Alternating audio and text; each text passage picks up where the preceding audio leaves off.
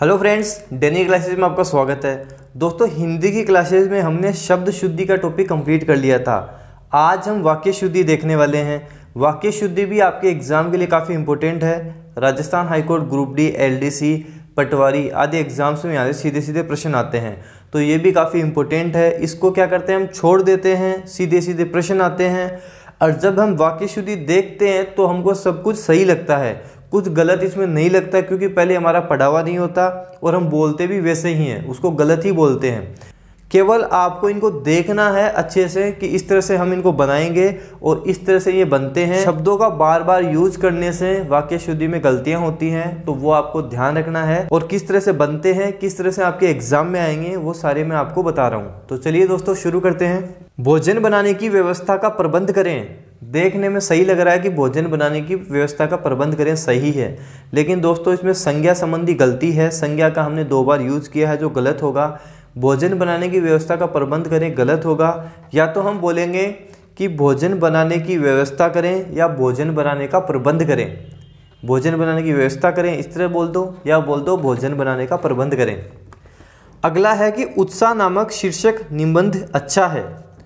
उत्साह नामक शीर्षक निबंध अच्छा है। वही संज्ञा संबंधी गलती हो रही है। यहाँ पे उत्साह नामक निबंध अच्छा है ऐसे बोल दो या उत्साह शीर्षक निबंध अच्छा है, इस तरह से बोल दो। दोनों तरीके से बोल सकते हैं, लेकिन उत्साह नामक शीर्षक निबंध अच्छा है, ये गलत हो जाएगा यहाँ पे। तो इन चीज़ों को एक बार आप देखोगे तो आपके समझ में आ जाएँगे, सही कर लोगे आप इनको। अगला है जैसे, अब विंध्यांचल पर्वत हरा भरा हो गया। अब विंध्याचल पर्वत हरा भरा हो गया तो यहाँ पे पर्वत लगाने की आवश्यकता नहीं है। अब विंध्याचल हरा भरा हो गया। इस तरह से सेंटेंस बनाएँगे हम। अब विंध्याचल हरा भरा हो गया।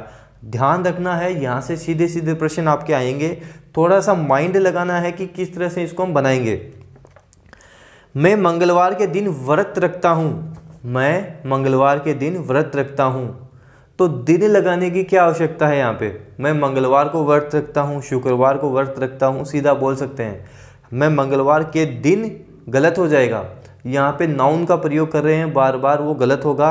केवल इस तरह से बोलेंगे, मैं मंगलवार को व्रत रखता हूँ, शुक्रवार, मंगलवार, बीस तारीख, जो भी है। कुछ लोग बोलते हैं कि मैं बीस तारीख के दिन व्रत रखता हूँ तो ये भी गलत होगा। मैं बीस तारीख को व्रत रखता हूँ, इस तरह से हम इसको बनाएँगे। अगला है, भारत गुलामी की दास्ता से मुक्त हुआ। भारत गुलामी की दास्ता से मुक्त हुआ देखने पर सही लग रहा है कि सही है, लेकिन दोस्तों ये गलत है। इसको हम इस तरह से बनाएँगे कि भारत गुलामी से मुक्त हुआ या भारत दास्ता से मुक्त हुआ। दोनों एक ही बात हैं तो या तो भारत दास्ता से मुक्त हुआ या भारत गुलामी से मुक्त हुआ। इस तरह से हम इसको बनाकर चलेंगे। अगला है दोस्तों कि समाज में अराजकता की समस्या बढ़ रही है। समाज में अराजकता की समस्या बढ़ रही है। तो अराजकता तो खुद में ही एक समस्या है तो यहाँ पे समस्या लगाने की ज़रूरत ही नहीं है। समाज में अराजकता बढ़ रही है, इस तरह से हम इसको बनाकर चलेंगे। अगला है हमारे पास, प्रातःकाल के समय घूमना चाहिए। प्रातःकाल के समय घूमना चाहिए तो प्रातःकाल समय ही तो है। तो इसमें समय लगाने की क्या आवश्यकता है? प्रातःकाल को घूमना चाहिए, सायकाल को घूमना चाहिए इस तरह से हम इसको बोलेंगे। प्रातःकाल के समय यहाँ पे गलत हो जाएगा। वह रोज पानी से पौधों को सींचता है। वह रोज पानी से पौधों को सींचता है तो पौधे तो पानी से सींचे जाएँगे। वह रोज पौधों को सींचता है। इस तरह से हम इसको बनाएँगे। वह रोज पौधों को सींचता है। तुम गीता की पुस्तक पढ़ो। तुम गीता की पुस्तक पढ़ो। गलत होगा। तुम गीता पढ़ो। गीता पुस्तक ही है, सबको पता है तो गीता की पुस्तक पढ़ो, बोलने से कोई औचित्य नहीं है, इसका कोई मतलब नहीं है। तुम गीता पढ़ो, इस तरह से हम इसको बनाएँगे।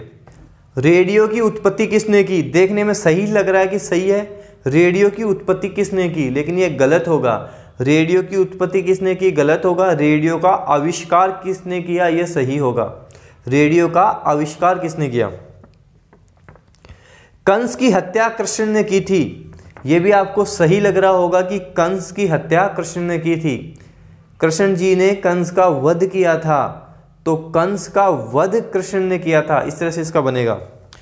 मेरे को कुछ याद नहीं हो रहा। सर्वनाम संबंधी गलतियाँ है ये।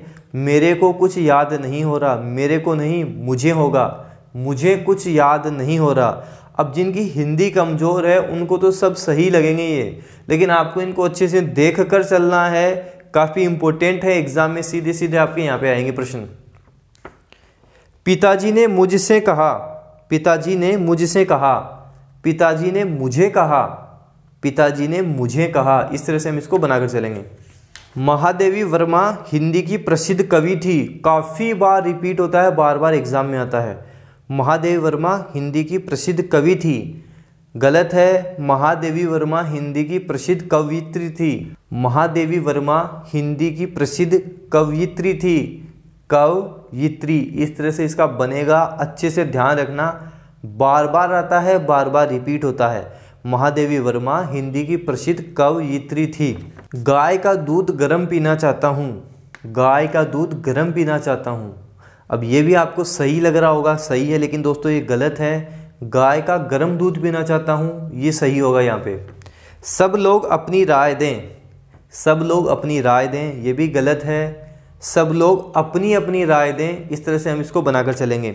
अब जो मैं आपको बता रहा हूँ, बार बार रिपीट होते हैं एग्ज़ाम में आते हैं तो इसी तरह से आपको देखना है इनको और इसी तरह से बनाकर चलने हैं। हिंदी के लिए मैंने आपको बताई थी, राघव प्रकाश की बुक बेस्ट है। तो राघव प्रकाश बुक से पढ़ लें आप, वहाँ से आपके काफ़ी क्वेश्चन एग्ज़ाम में मिल जाएँगे। काफ़ी रिपीट होते हैं। राघव प्रकाश, हिंदी के लिए बेस्ट बुक है आप। राघव प्रकाश पढ़ सकते हैं। कृष्ण पीताम्बर धारण करते थे। अब ये तो बिल्कुल सही लग रहा होगा कि कृष्ण पीताम्बर धारण करते थे, सही है। लेकिन दोस्तों, ये पीताम्बर है यहाँ पे जो पी में जो ई की मात्रा है, वो छोटी ई की मात्रा गलत होगी। यहाँ पे बड़ी ई की मात्रा होगी। कृष्ण पीताम्बर धारण करते थे। तो जो पी है, इसमें ई की मात्रा बड़ी होगी। मात्रा संबंधी गलतियाँ भी एग्ज़ाम में आती हैं, वाक्य शुद्धि में। तो मात्रा संबंधी, संज्ञा, सर्वनाम संबंधी सारी आपको गलतियों को देखकर चलना है और उसी तरह से आपको इनको करना है। आपके राघव प्रकाश में वाक्य शुद्धि संबंधी सब कुछ मिल जाएगा। प्रीवियस ईयर्स के जो क्वेश्चंस आए हुए हैं, वो भी यहाँ पे आपको मिल जाएँगे।